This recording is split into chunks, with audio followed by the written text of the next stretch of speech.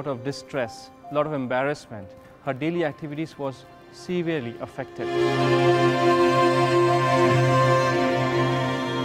It's not easy dealing with this as a 19 year old. كان عندها شوي صعوبة بالحركة كان عندها صعوبة بالإيد كانوا إجريها شوي يكونوا عم بلفوا لجوا Carmen is suffering from an extremely rare condition. That she had to do in her daily life was difficult because of this dystonia. It was a terrible shock.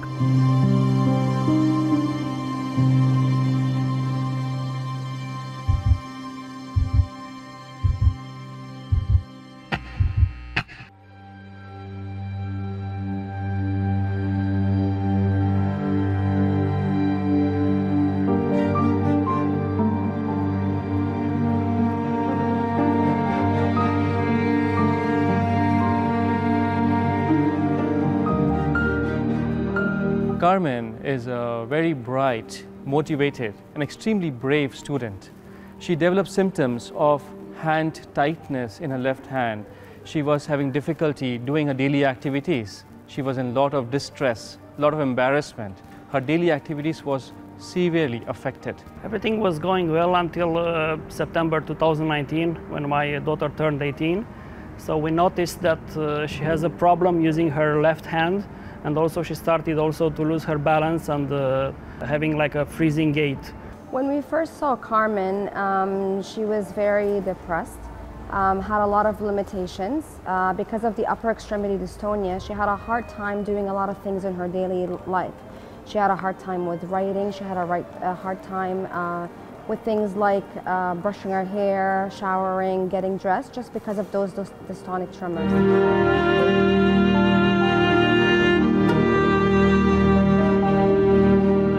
Hope she came to Cleveland Clinic Abu Dhabi. She was diagnosed with this condition called dystonia, where we see the neurological symptoms of hand twisting and tightness.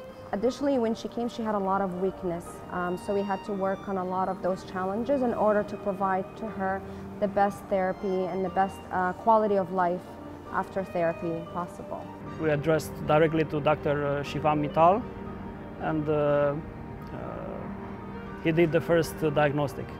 So uh, he found that uh, our daughter, unfortunately, has a neurological problem.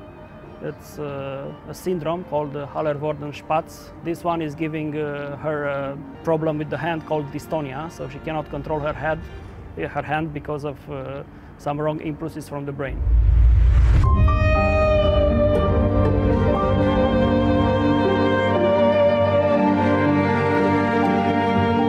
Dystonia is a neurological condition, is a movement disorder where you see turning and twisting of the muscles. Dystonia can affect different parts of the body. When it affects the neck, it is called cervical dystonia. When it affects the eyes, it causes blepharospasm. The different medical terms that doctors use to describe dystonia. So, Carmen, this is an example of a hand, mm -hmm. and we have more than 20 muscles in one upper limb. Mm. There are different muscles which can contract, which can become tight. Mm. As a result, you have posturing in the hand, which we call as dystonia. Yeah. We use EMG where we find the muscle mm. exactly, and we can go deep inside the muscle and find the muscle, isolate the muscle, and inject botulinum toxin injection. And when it is done precisely, it works very well. Okay. Because the dystonia was in her left hand, so she still had a lot of difficulties um, doing her activities of daily living. So simple things like uh, brushing her hair would be difficult, uh, taking a shower, uh, putting her jacket on, putting her clothes on. Everything that she had to do in her daily life was difficult because of this dystonia.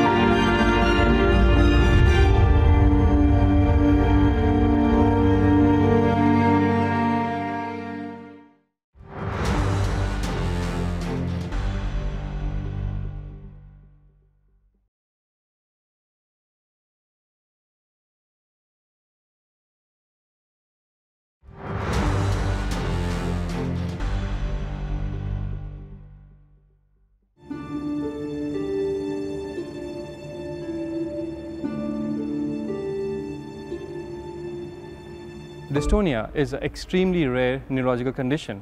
When we look at the movement disorders, which is a group of neurological condition, the most common condition we see is Parkinson's disease. Other condition is essential tremor. And third most common on the list is dystonia. Dystonia we subgroup as there is a cause or there's a genetic reason for dystonia or there is a secondary cause for the dystonia. For us, it was a shock, a real shock. So uh, we tried and managed to overcome our initial shock and uh, uh, pain and uh, explained to her that uh, uh, with treatment, she can still have her dream come true, but she has to be positive and just overcome everything.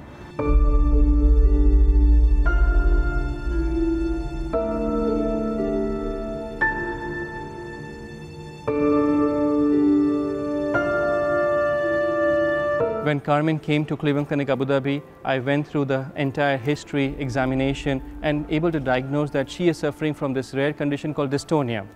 Now, when we look at dystonia, we have to find out what's the reason for dystonia. She had MRI testing and we found a very specific pattern that we see in a genetic condition causing this condition of dystonia. So when we see a patient with dystonia like her, we discuss all the patients in our multidisciplinary team meeting to check what age it started, how the symptoms are progressing, what are other symptoms are there, what all the body parts are affected, how it is affecting her daily life, whether she is responding to medicine or the injections. Out of all patients, about 15 to 20 percent of the patients may need a surgical intervention when mostly they are not responding to medication or botulinum toxin. It is very important that we consider patient in the center and we should have a surrounding team with a multidisciplinary approach, including occupational therapist, physical therapist, physical medicine and rehabilitation specialist, and also requiring neurosurgeon if we need to.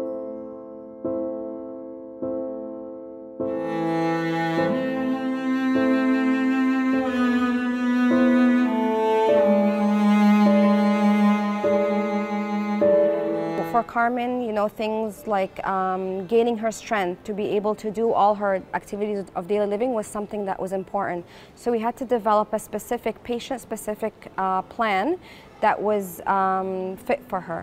This botulinum toxin is a very powerful medication which injected in the right dose, in the right muscles, using sophisticated technique like the electromyography, EMG machine, we can find out the right muscle and we can improve the symptoms uh, very well you.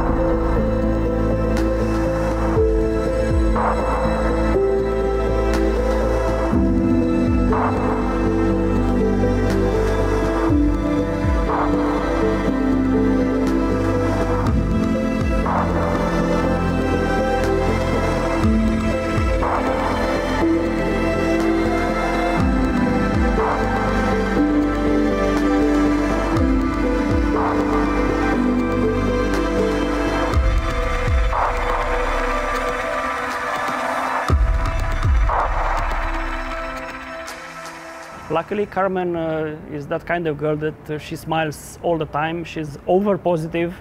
Very rarely you can see her uh, upset or uh, not smiling.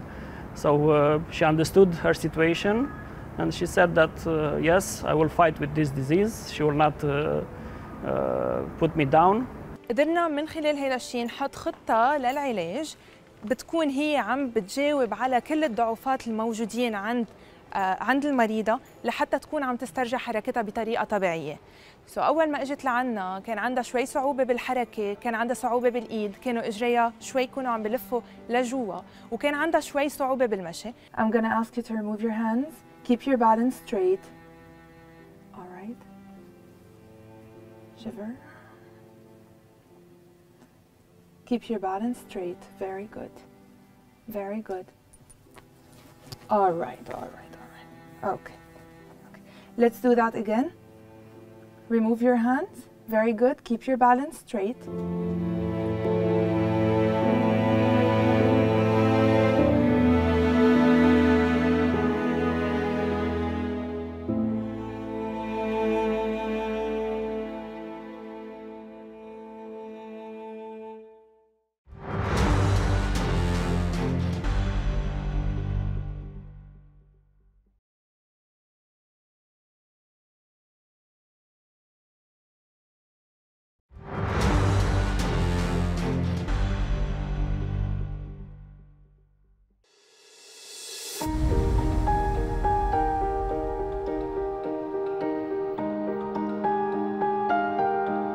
Carmen always uh, discussed feeling self-conscious about her condition.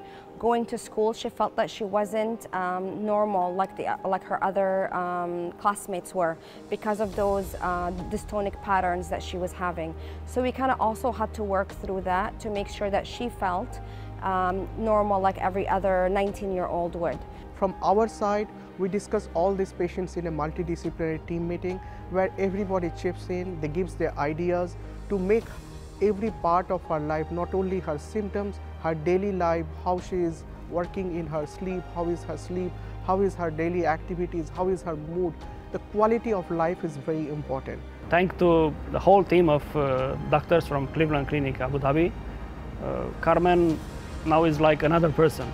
If you should have seen her three years ago, uh, her movements were uh, uh, very disruptive.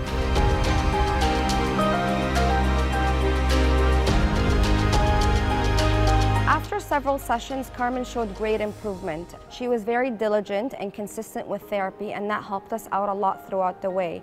Um, she was able to reach most of her goals um, in very little time, so I knew that she was doing a lot of work also outside of therapy. Okay, keep your hands on your chest. I'm gonna put this here.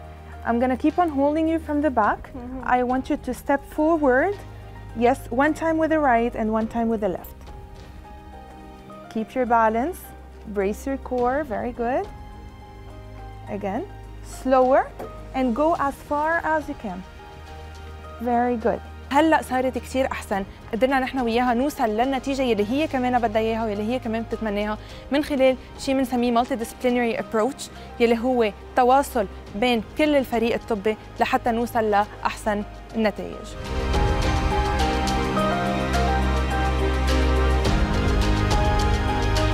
Carmen is definitely a success story. She is brave, she is strong, and she likes to keep on moving on. That's a spirit that Carmen has. So Cleveland Clinic Abu Dhabi, along with its multidisciplinary team, really did help Carmen achieve um, her activities of daily living and helped her realize that she is able to to have a regular life and to be able to complete everything that she wants to for, for, for a 19 year old. She has her whole life ahead of her and we were so happy to be able to provide her with that bright future that she deserves. I am very hopeful that with the treatment that she is getting, she will do wonders. She has done so well in the past few years that I, have, I think she has a very bright future ahead and she will make her parents, herself very proud. So I promise her that uh, we'll go back only one more time here for some, uh, some treatment and then uh, there will be not necessary to come again because she will be completely cured. With a positive mind, think this can be achievable.